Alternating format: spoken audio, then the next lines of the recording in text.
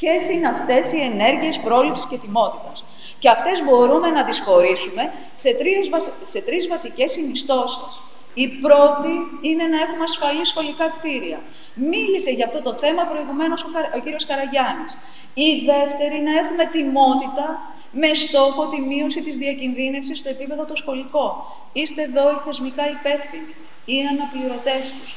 Είστε αυτοί που θα πρέπει να λάβετε ε, ε, έτσι, ενέργειες στο χώρο του σχολείου σας, ώστε να είναι και το προσωπικό και οι μαθητές ασφαλείς. Είστε οι θεσμικά υπεύθυνοι στο χώρο του σχολείου. Γι' αυτό το συζητάμε τώρα με σας. Είτε λέγεται νηπιαγωγείο, είτε λέγεται δημοτικό, είτε λέγεται γυμνάσιο, είτε ε, λέγεται λύκειο, επάλ και οτιδήποτε.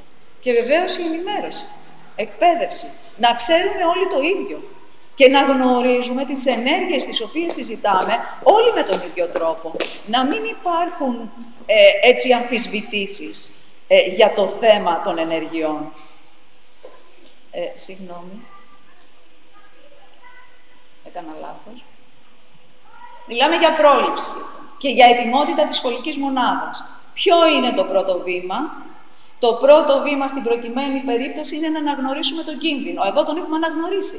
Γίνεται αυτό το σεμινάριο γιατί έχουμε εστιάσει την προσοχή μας σε ένα συγκεκριμένο κίνδυνο, το σεισμικό. Και αιτιολογήσαμε γιατί μιλάμε για το σεισμικό, αφού η χώρα είναι με μεγάλη σεισμικότητα. Ναι, αλλά ανάλογα με τη θέση του σχολείου σας, μπορεί να υπάρχουν και συνοδά του σεισμού φαινόμενα.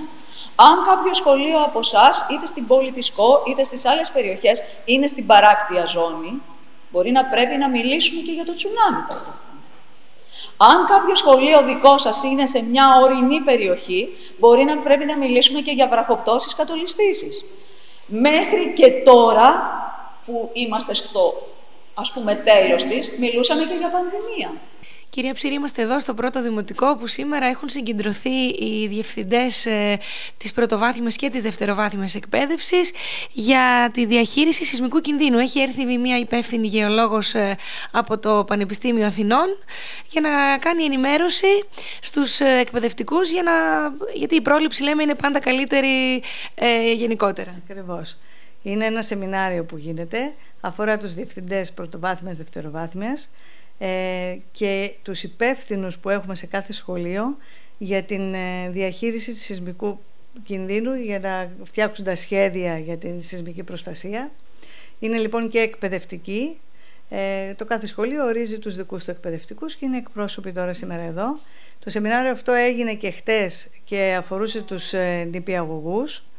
Ε, χτες το απόγευμα στο πρώτο νηπιαγωγείο και σήμερα γίνεται στο, εδώ σε εμάς.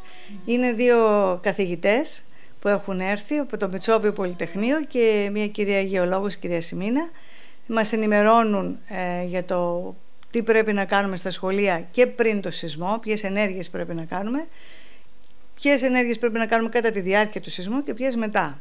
Εμείς κάθε χρόνο, όλα τα σχολεία, είμαστε υποχρεωμένοι να, να φτιάχνουμε σχέδιο για όλα αυτά, ε, κάνουμε ε, κάθε φορά, ε, πολλές φορές το χρόνο, ε, ασκήσεις σεισμού, ε, με συνθήκη σεισμού για να ε, είμαστε προετοιμασμένοι στο πώς θα, μπούμε, πώς θα βγούμε από τα κτίρια, πώς θα, πού θα είναι τα παιδιά, πώς θα ενημερώσουμε τους γονείς. Είναι πάρα πολλές ενέργειες που πρέπει να γίνουν και πριν και μετά. Και πρέπει να είμαστε ενημερωμένοι. Η περιοχή μας είναι μια περιοχή σεισμογενής. Έχουμε ζήσει και ένα σεισμό το 2017 ε, με πολλές ζημιές και πολλά προβλήματα που μέχρι σήμερα μας ταλαιπωρούν. Οπότε πρέπει οπωσδήποτε να, έχουμε, να είμαστε ενημερωμένοι και να είμαστε προετοιμασμένοι. Με τη μεγάλη εμπειρία που έχετε ως εκπαιδευτικός, ε, οι ασκήσεις πλέον που γίνονται στα σχολεία τη σημερινή εποχή είναι πιο οργανωμένες φαντάζομαι από όταν ήμασταν εμείς, ε, η δική μου γενιά ας πούμε, στο, σαν μαθήτρια. Ναι, είναι πιο οργανωμένες γιατί έχουμε πιο πολλές οδηγίες, υπάρχει συγκεκριμένο σχέδιο που πρέπει να ακολουθούμε και το κάθε σχολείο ανάλογα με τις δικές του ανάγκες, με το δικό του κτίριο, προσαρμόζεται τις ανάγκες του πάνω σε αυτό και κάνουμε πολλές ασκήσεις για να είμαστε και εμείς προετοιμασμένοι γιατί δεν μπορείς ξαφνικά αν συμβεί κάτι να αντιδράσεις σωστά ούτε οι μεγάλοι και πόσο μάλλον τα παιδιά.